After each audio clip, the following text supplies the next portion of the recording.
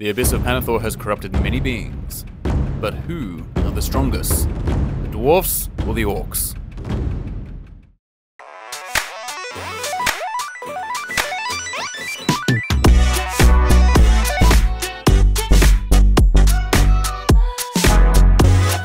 So this is round three of the one-day tournament that I attended quite a little while ago, but somehow I still remember. It probably helps that I also write articles about this, and then also have to organize these pictures to make these very videos. So it still always refreshes the damage in my mind. Damage being when I lose. Um, so I've won the first round against the Halflings, and I lost the second round against the Night Stalkers, but only just because of a slight thing where I didn't understand the win conditions of the scenario, so it didn't perfectly measure the area. But that is fine because I will learn for next time, which is good because there's a big tournament coming up and I want to make sure I play it right.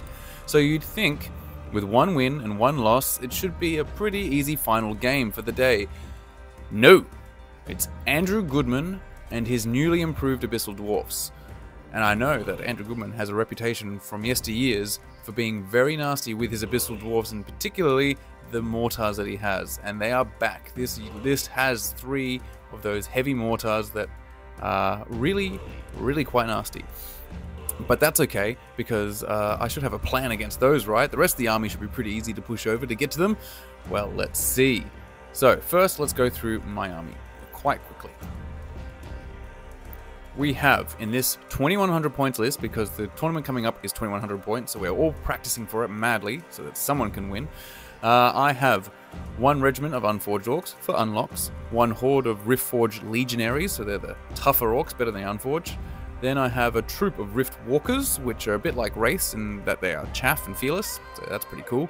Then I have a horde of Hellstrikers with the Staying Stone to increase that Wavering value stat by one, so they're 16, 17. Otherwise, they're very much like Drakons. Then I have three Amberoxen, because we've settled that as the plural, so Amberoxen of three. Um, that is pretty much the main shooting unit that's available in the Riftforged Orcs army list, unless you want to go Skulks, and I do not want to go Skulks just yet. Then I have a War Drum to give some Rally. Rally 1 for Riftforged, and Rally 2 for anything that's a normal Orc, which is just the Unforged. Then we have the Stormforged Shrine, which is a fantastic shrine. Um, really, the reason you want to have it in your un- Riftforged Orc army is because it has a Fury Aura for everything, so that's pretty awesome. But it also has the ability to cast a whole bunch of spells over and over and over, so it can cast Bane Chant lots of times, which is really good when your whole line is engaged all at once. So, if anything, just for the fact that it buffs the entire army, that's why you want to get it. Then I have a Rift Forger, um, which is a little hero with a few attacks um, with the Blade of Slashing. He exists solely um, to accept um, the Host Shadow Beast spell from the Stormforge Shrine. The optimal build is that the Rift Forger himself will have the Host Shadow Beast spell, but I did not have the 20 point spare with which I could give him the Host Shadow Beast spell.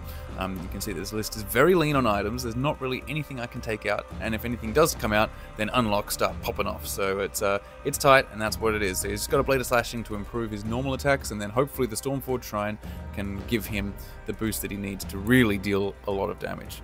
Then we have one Stormbringer on Hellstrike Manticore, and that is just a kind of the Drakon hero kind of guy. So that goes with the the Hellstrikers. And then finally we have the formation the Iron Boots, which is a whole bunch of regiments of Riftforged Orcs. We have two regiments of Riftforged Legionaries and one regiment of Reborn Legionaries, which is very confusing, especially for opponents, because the only way you can tell them apart, they're exactly the same models pretty much as Riftforged Legionaries, but they carry the two-handed weapons um, and they are inspiring. And in this formation, everyone gets a nerve bump, which is pretty handy, so it makes them very tough regiments.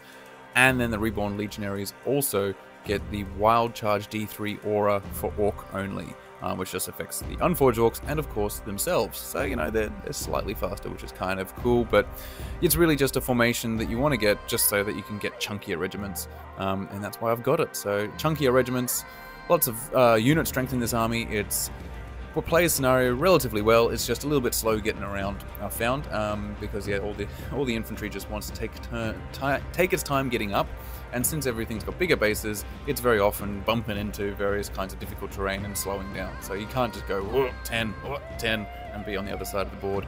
It's really kind of going up in an awkward fashion. So awkward, awk. Um, there's a pun for you today.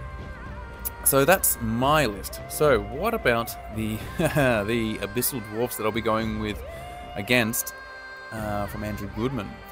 Affiliation partner of the channel, Pathfinder Game Distribution, are the only exclusively Mantic stockists in Australia. So if you're in Australasia area and need some Mantic product, be it Kings of War, Firefight, Dead Zone or Terrain Crate, then check out Pathfinder Game Distribution. Use the link in the description below or the code Caffeinated Warlord for 15% off. Well, it is hard. It starts off nice. Two troops of gargoyles. Can't blame a person for bringing gargoyles. They're pretty fancy chaff. They're pretty good. They're very cheap. So you might as well have two troops of gargoyles. Why not? It really gets nasty when we get to the other thing that starts with G, and that uh, is the grotesques. We have four hordes of grotesques. Four of them. One of them is especially nasty because it has the Brew of Sharpness. The other one's got Fire Oil, which is completely useless against my army. Um, but yeah, one has Brew of Sharpness, so it's especially scary. But they're already quite a scary unit because they've been they've been improved a bit. I mean, it's just anything that can hit very consistently thanks to that Strider, and it's got Thunder 2 Crushing 1 and Vicious. It's just, yeah, it's going to convert a lot of its hits, even though it hits on fours, a lot of those hits will get converted um, to full-on damage. So you expect them to do 8 to 9 damage each time they hit. Obviously, they're not going to go so well in the second round of combat, but very rarely is there a second round of combat when it comes to grotesques.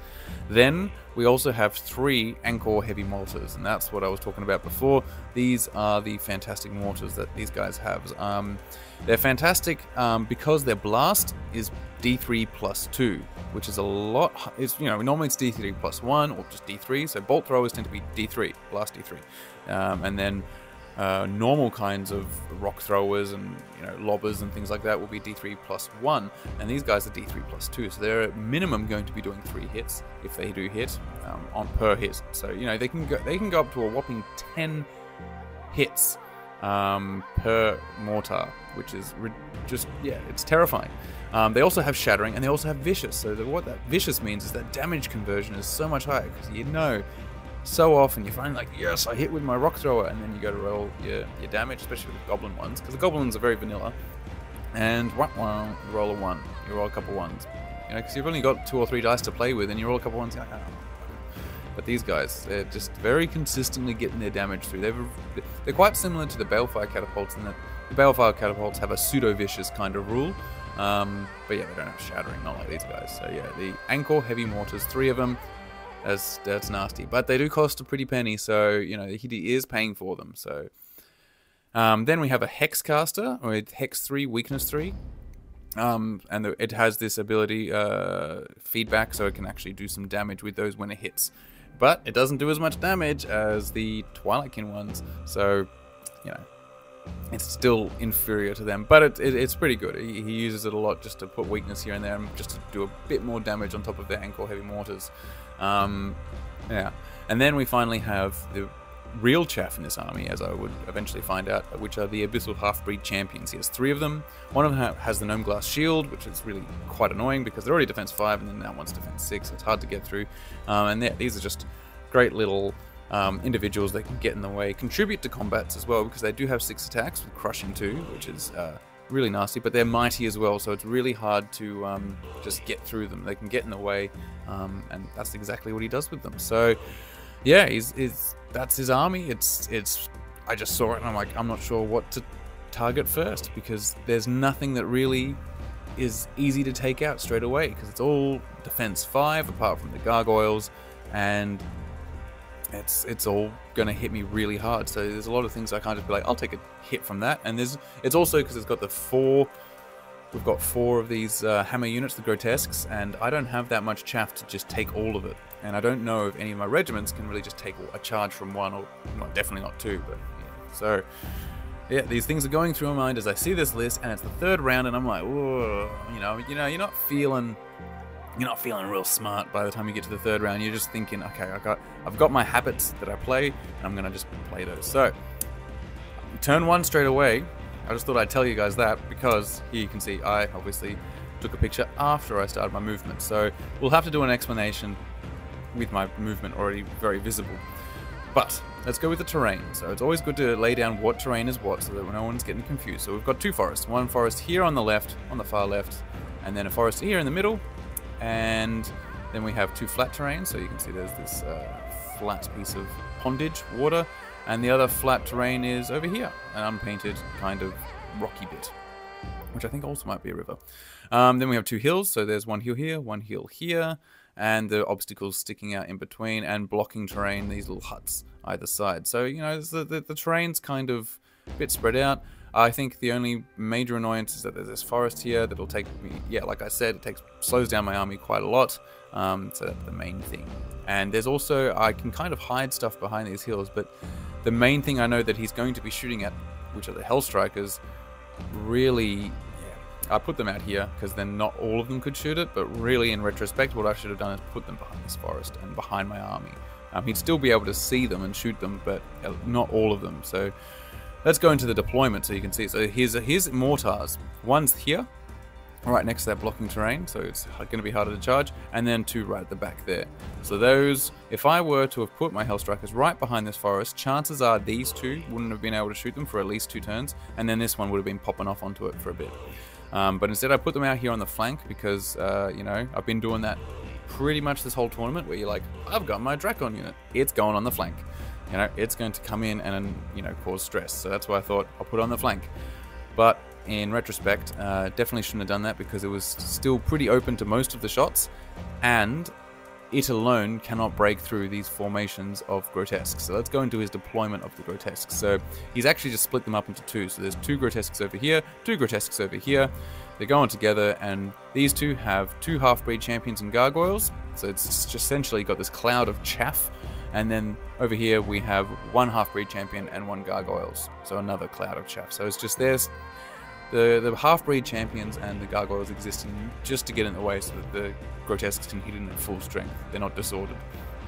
And so yeah, with the Hellstrikers over here, I have this terrible situation that I know I can't kill either grotesque on the charge, and so I'm just kind of stuck here um, and but I put them there. So really, what they should have done is should have been put in at the back of my army, because yeah, I can. I've got the speed, but I'm I'm going to be in a terrible situation where I start getting shot, and I won't be able to get into those charges because he will have the chaff in the right spot to stimmy my advance. So my deployment, as we've seen in most of the game so far, is I find a piece of blocking terrain and then anchor the whole army off it so that something is like something is kind of blocked. So in this case, we've got the horde of Riftforged Legionaries right there, so that's the big ones there. And then behind that, we have the shrine, the drum, the Riftwalkers that act as the chaff for it, because I usually want to chaff up the big horde, because I would like them to hit. And then there's the little lone Riftforger there. Then we have the three uh, regiments. So this one is the Unforged. I usually like to put that right in the middle so it can kind of go out and be like, charge me! Um, and you know just kind of start the whole exchange um, by offering them up. And then I have my two Riftforged Legionaries from the formation with the iron boots. They're a bit chunkier, they're higher nerve than usual. And here's the reborn ones. And you can see what I can say. Like if you were just looking at these, just like orcs, orcs, orcs. Which one's the one that's the inspiring one with the wild charge D3? Well, it's these guys with the two-handed hammers. Thankfully, I can say it's the guys with the sofa. That's immediately what you see is the sofa, because they're invading an office. It's the CEO's office, and if you one day I'll I, should do a video where I introduce the army because the, I'm quite proud of what I put on the laptop. Stephen Tuck did that with one of his uh, miniatures. He did a UB game on the laptop, and so that's what I did. I painted a little little miniature UB game there. Uh, Universal Battle for those unaware. And then I've got my three Amberox right behind the Reforged uh, re regiment so that they can pop up on the hill and start laying down fire.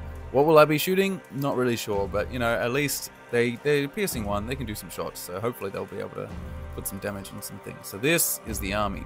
Now, the scenario we're playing, I should say, is stockpile. So that's why we've only got three tokens. One in the very center, right here, and then one here on this midline, and another one out here on the left.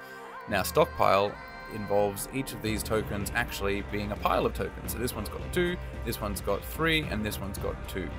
Um, and so you have to get onto them, pick them up like a normal loot token, but you can only pick up one per turn, so if you want to pick up some more, you kind of got to stay there and keep picking them up. So yeah, it's a cool little scenario. It's, it means you can't just go in and get it and run. I mean, you could, but there's a there's a good reason why you might want to stick around and pick up some more. So it just changes things up, and there's a lot of tokens on the battlefield. So you know, there's a lot to play for. So with that introduced, obviously in my first turn, I got I got the first turn. I moved on up, and that's what I've done here in a kind of staggered line. I wanted these guys to stay behind the hill, and you know now I'm looking back, I'm like, why why did I care? Because I, I, didn't want to get sh them shot because I was thinking, okay, these guys won't be able to shoot the Hellstrikers as much, which I moved up. They might be shooting some of my regiments, but I really should have just gone boom, put them up, and let let them be the target and present them, and also get forward so that the Amberox can start laying down fire. But what I did instead was just move very tentatively, especially being limited by the fact that these guys are only going up five inches because of the um, the terrain. So everything's kind of getting a bit slow, uh, including my brain. Uh, but the Hellstrikers are out on the on the flank, and so I'm just, you know, angling towards them and seeing what he will do. Uh, so yeah, it's just pictures of the tokens. So that's in the forest. Uh, yeah, just to make sure I didn't miss it. So in his turn, he moves up aggressively with the grotesques on the left. Um, and he's being very smart. These gargoyles are not even going to be part of the chaff. He can obviously. This is the problem with um, the Reforged Orcs is that they're all speed five, so it's pretty easy to get the charge on them, right? Um, and so he's just moving these guys up without much chaff, letting the gargoyles go off and eventually pick up those tokens. But he won't get them to begin with because there's no point going in there because the Amberox will be able to shoot them. The moment he gets into that terrain, I can shoot them, and it doesn't take many piercing one hits, even in cover, to take out gargoyles. You pretty much you can get it on the first go, um, just one damage. So he's that's why he's holding back there. So it's never good to go too quickly for the tokens, especially if you're going with a very weak unit. So he's got them on the other side of the forest, so they can't be targeted whatsoever. So there's always things to learn when you're going against Andrew Goodman, because he, he always has a plan and plays very, very tightly.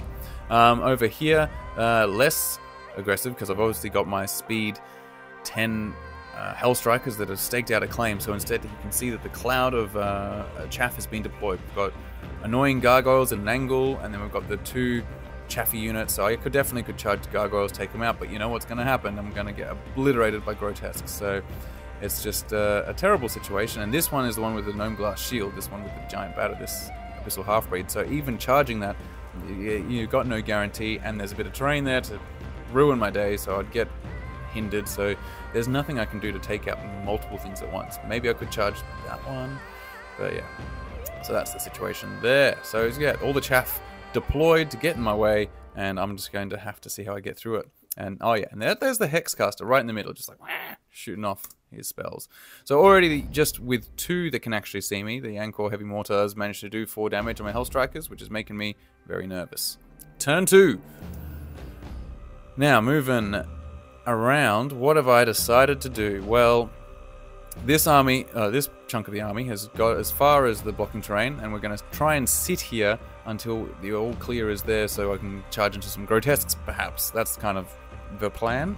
Um, so yeah, that's the the hordes pretty much just not quite flush with the blocking terrain, but I don't need to be. I'm not really worried about flanks. Um, and then the rest of the army is kind of in this weird curve where I still don't want to get on the hill. And I'm looking back and I'm like, why? He's going to shoot the Hellstrikers. He's going to keep shooting the Hellstrikers. Just, just get on the hill. Maybe I'm thinking if I stay behind the hill, the grotesques can't charge me. Um, but really, what I should have been doing, I'm going to say this now, even if it's a bit of a spoiler, and I know some people don't like spoilers, but hey, let's get tactical.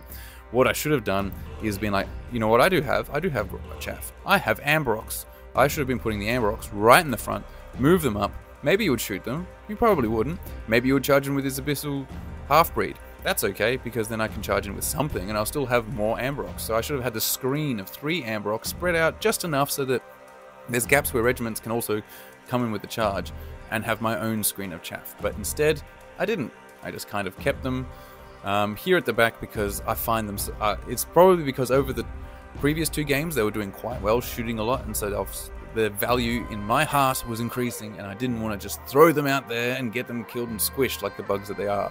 I wanted to keep them um, safe, and so that's why they're sitting there. But I really shouldn't have been doing that. I should have been putting them out in front, and they would have been able to shoot as well. So it would have been win-win. I'd be shooting with them already, and that might have changed his priorities for his um, mortars. They wouldn't have been shooting my Hellstrikers, but you know that's that was a situation. And you can see here, so this four, first four damage was done, and then I was like, oh, I didn't like that, so I moved him back.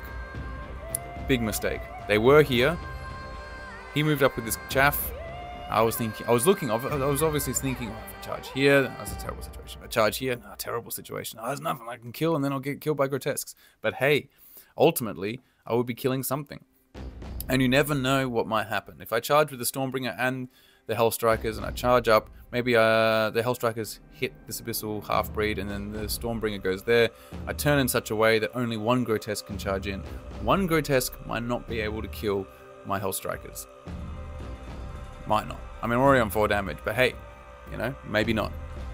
So that that should have been what I would be doing, but instead I started getting hesitant and I thought, okay, no, I need to preserve these Hellstrikers. I'm going to bring them back. They won't be able to shoot as much, but like I said, even one can potentially hit with up to 10 hits by itself because of that D3 plus 2 with 2 attacks. So even allowing one to see you, you might as well, yeah, I should have just charged with them at this very point. That's when I should have charged. But I moved back instead to try and protect them. And so you can see where if instead maybe they were here, they wouldn't be getting shot at all. Sure, something else was something's going to get shot. The Angkor heavy mortars aren't here to play games. They're here to put damage on and make me make bad decisions like I am right now. And so that's that's how it's going. Um, and so then in his turn, in his turn too, he starts putting on more damage. They're up to seven now, and they get wavered. So now they really are stuck there. Fantastic, good work. So yeah, I'm I'm lambasting myself now just because I'm like, that was bad use. To be fair, I don't have any kind of Drakon units in my armies up to this point. Somehow, somehow I've just managed to be in armies where there are no Drakons. And so they are not something I'm used to using, but yeah, you know, I should be get used to using them because they're expensive and I put some effort into painting them. So, and you can just to see how the rest of his army's moved up. Now the grotesque have mounted the hill. He's realized that I'm a big pushover. I'm not going to charge my Hellstrikers. He's like, all right, let's get these grotesques in. So they're there. Um, the gargoyles. Where have the gargoyles gone? Oh, I think they got killed. Something killed the gargoyles, so they're gone. And I do not have record or recollection. I mean, they're over there, so I'm, maybe I shot them with... Oh, no, I would have shot them with a lightning bolt from my good old uh, shrine. It does have a nice lightning bolt in it, so that would have done it. So yeah, shrine probably would have killed that. That's the only shooting over there anyway, so nothing else could have done it. We haven't got a combat going. Um, or do we? Well, anyway, mysteries abound. And over here, he's moved up with his grotesques. Turn three. So here's my turn three. I have uh, decided to deploy my own chaff. So on the right here, we've got the, uh, the Riftforged Legionaries moving up. The horde of them. It's a whole horde with the Riftwalkers in front, so they can't get a double charge on. So go on, hit me. Um, obviously, my Hellstrikers are being ridiculous back here. Um, Unforged, Riftforged, everything's kind of just moving up. I don't. I think the Unforged are now in range, so it's at least posing the question, and they won't be hindered. So they're not going to kill them, but at least it's the question. Like, oh, here they are. You're going to have to do something now. And all the Riftforged now angling their way around, and I'm still being stupid with my Ambrox. They're just staying behind there as if they are the key thing to my army. And guess what? They're not. They're not. They're just 330 points of. Um, yes, unit strength one little monster things, but they're just 110 points each. They can just be chaff, and I should have been using them as such, but here they are, stuck behind my other units. They've been trying to do some shooting, but yeah, really, it's dismal. Um, so yeah, I've just got my army just moving up, and really, so far, nothing to do with the scenario. Although I think I will be picking up a couple with the Unforged Orcs, because, you know, they're on it now. So they're on that middle stockpile token, and I'm on this one here, but I haven't picked them up yet. So, but what can you see is a major mistake here that I should have picked up on myself. I'll give you a little moment. Well, it is that this unit did not turn. I didn't turn it, I just left it there. I should have turned it a little bit because right now, what? That's a flank. That's a flank there. Bang. So that's what that's what Andrew will pick up on. If you give him a flank, he'll definitely take it. And you know what you shouldn't get a flank from? You shouldn't get a flank from grotesques. Grotesques, even, you know, when they're hitting on fours, they're definitely uh, not great because they can skew either way. But yeah, you give them a flank, then they suddenly get heaps of attacks. All that conversion, they've got that strider, so nothing, nothing's going to stop them. So yeah, they're in the flank. These ones are in the front at the same time, which is fair enough, um, along with the Abyssal Half-Breed Champion. So they're going to try and smash through this unit, but they are pretty tough. And so now my Unforged Orcs are facing nothing because they've gone out of the way. So that that might be the collapse of my left flank right there. Uh, this is just showing exactly the terrible situation that I'm in. These are the cool old Dragon Ogre models as well. They're quite nice and they're well painted. As you can see, even when you zoom in this far. Ah, uh, yes, and so they're gone. It didn't. It's no surprise to anyone that they they didn't survive, but um, that's what happens when you give a flank. And I think it was yeah, copious amounts of damage were dealt. But somehow my other uh, guys, these ones, survived. He was real miffed with that, but that, you know, the the rally and the fact that they have that nerve bump, they get up to, um, so they start at 14, 16. With the nerve bump, they become 15, 17, and then with the rally, they become 16, 18, which is a very decent regiment.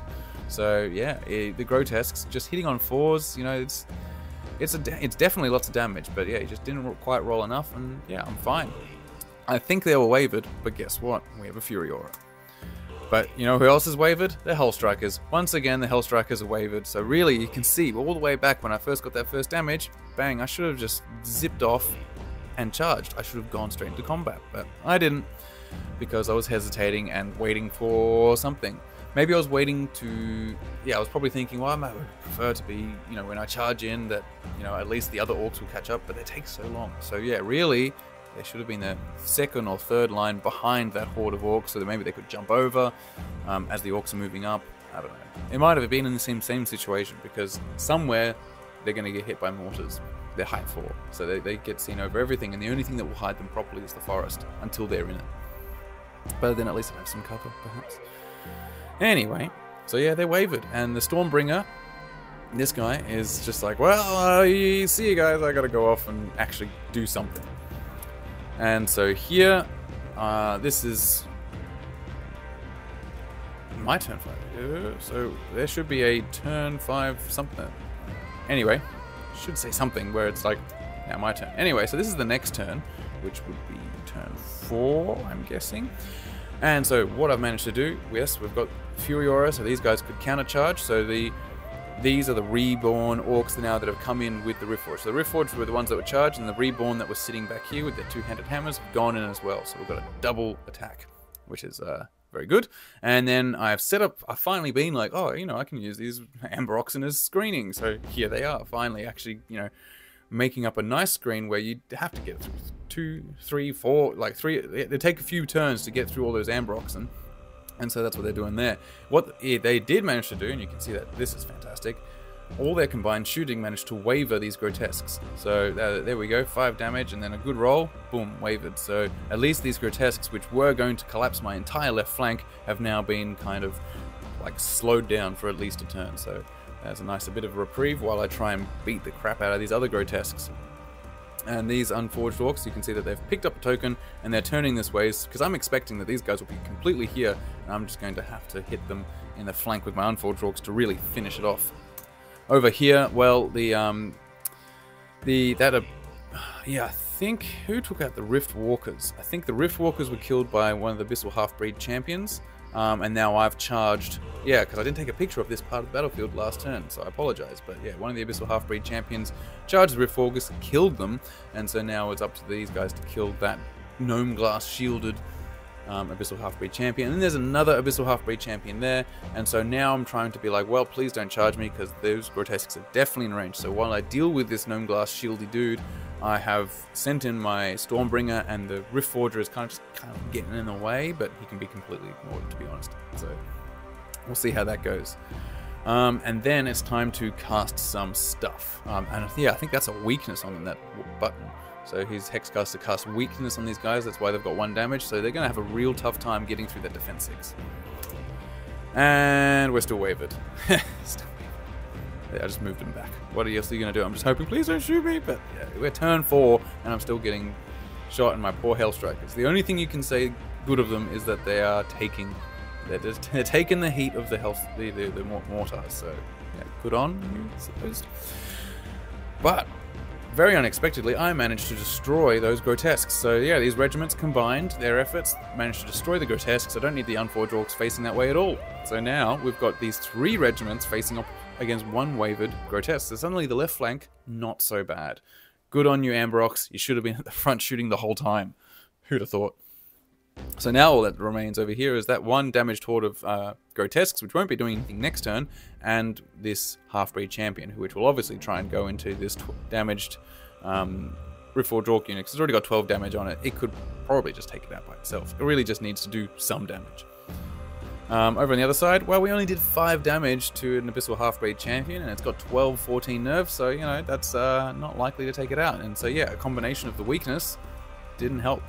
Um, yeah, so that's Not a great situation there, and the Grotesques, I think I did a little bit of damage to these ones here, but yeah, I'm just, this guy is now Chaff, and he is expensive Chaff. That is a guy you don't want to be Chaff.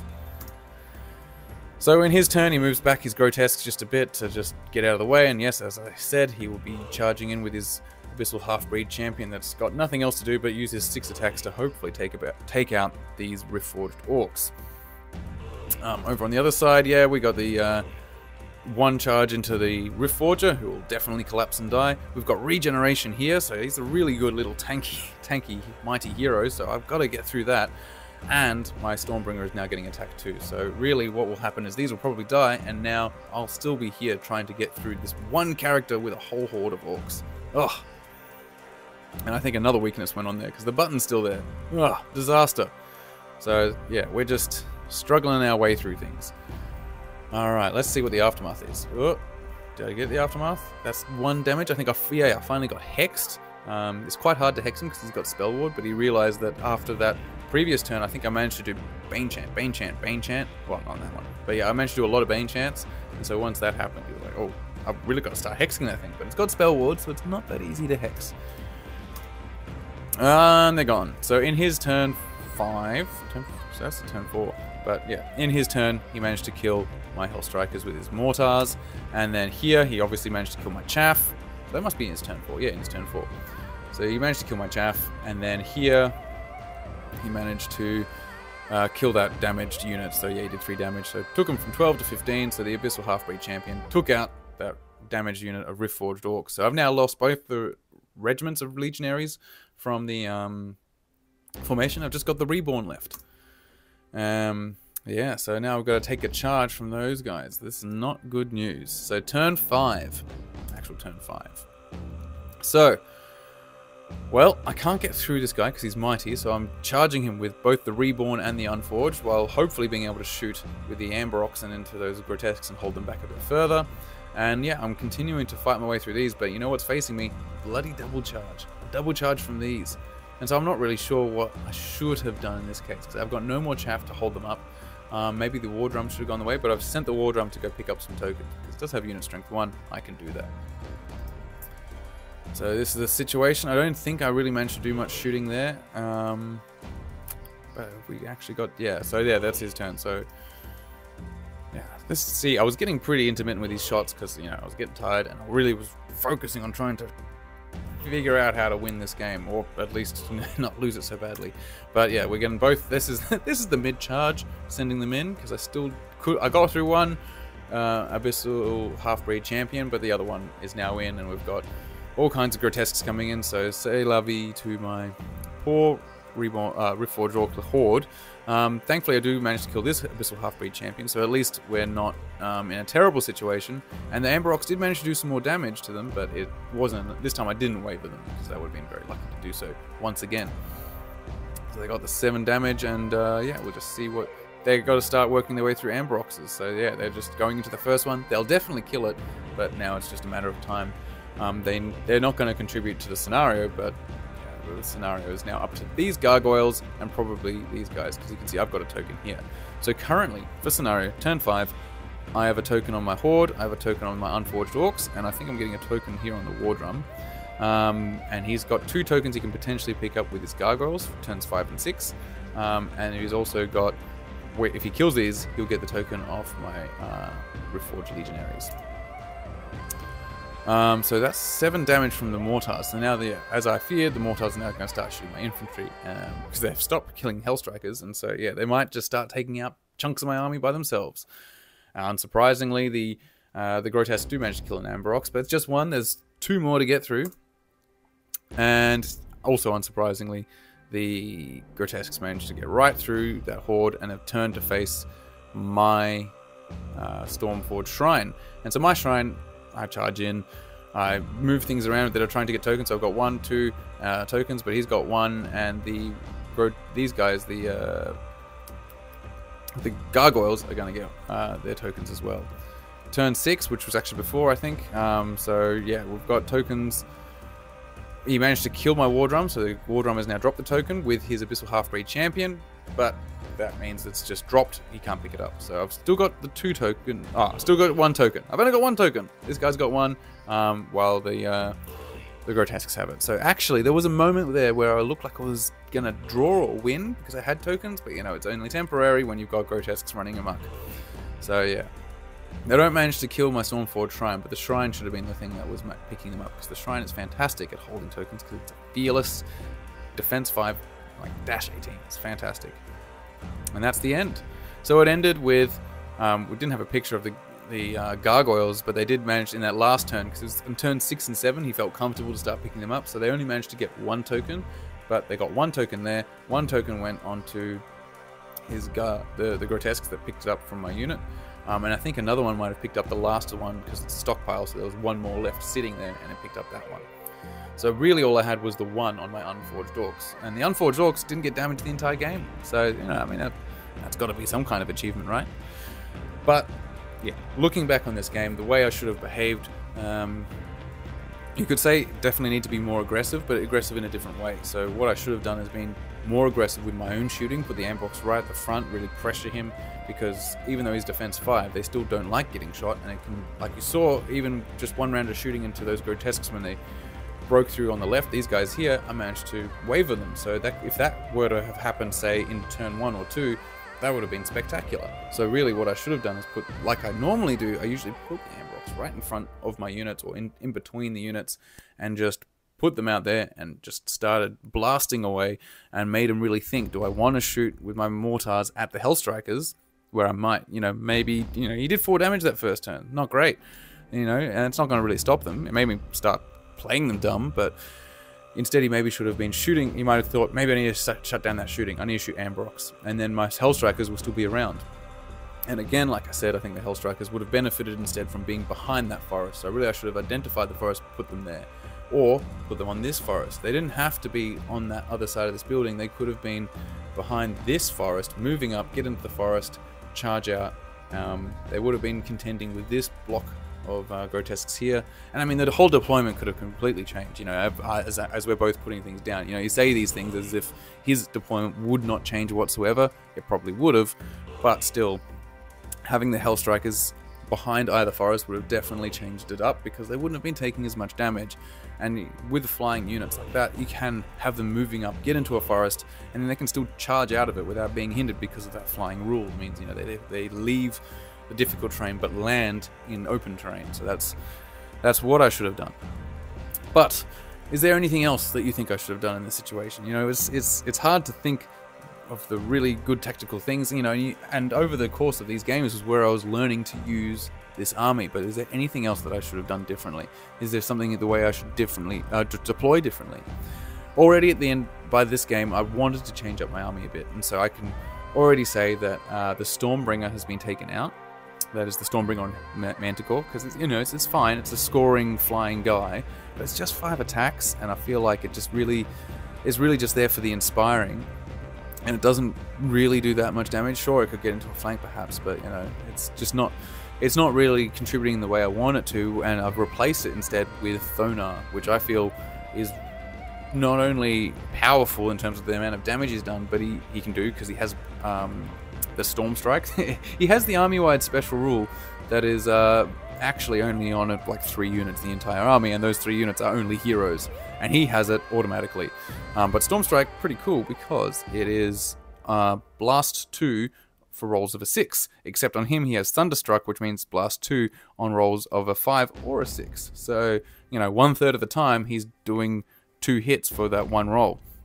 So he can surprise you and do a a monumental amount of damage all by himself without a host shadow beast. But being an individual, he can get host shadow beasted by the shrine as well, so that's pretty cool. He's speed 8, so he's a bit slower, but he still can keep up by being an individual with the Hellstrikers, because the Hellstrikers are never really going that fast. And the best part about him is that Thunderstruck ability also has built into it minus 1 to uh, hit or damage. One of them. Oh, I think it's to damage. So minus 1 to essentially imposes a weakness. So Oh no, is it a hit?